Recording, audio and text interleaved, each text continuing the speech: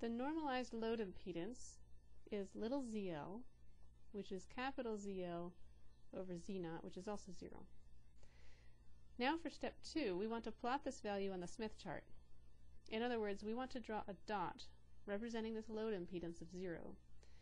As a result, the dot should be at the intersection uh, of the RL equals 0 circle and the XL equals 0 arc.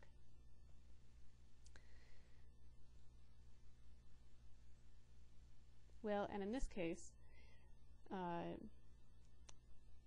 when there's an imaginary component, you will have an arc. But uh, when you, all the real numbers, let's do this one first. All the real numbers for x are along the horizontal line.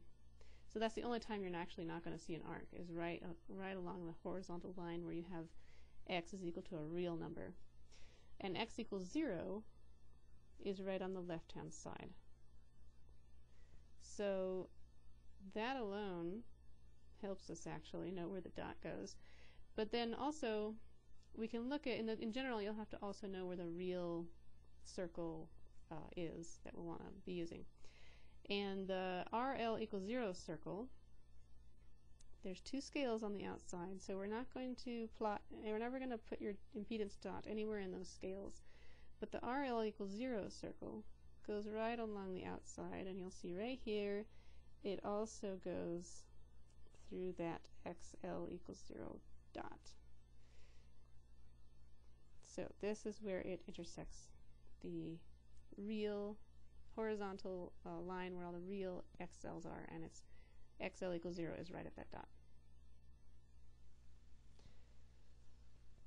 So we put our impedance dot at the intersection, well, it's right at the x equals 0 spot, and it's also on the r equals 0 circle, as shown here.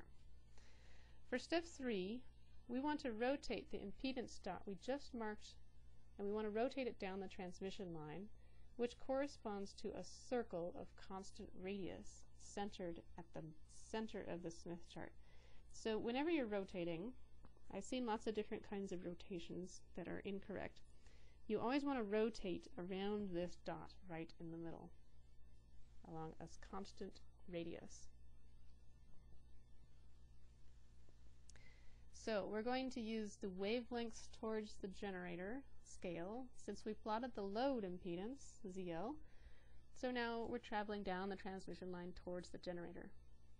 Note that in this particular example, we rotate along the r equals 0 circle, which is already drawn for you. In general, we're not going to be rotating along a circle that's already on the Smith chart, and uh, so you'll have to draw your own.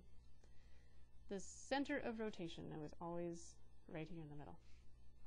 Let's read off the Smith chart how the impedance changes as we move towards the generator and rotate around the Smith chart how does ZL, or how does Zin, as we rotate, we're going to have Zin, how does Zin change as we rotate towards the generator?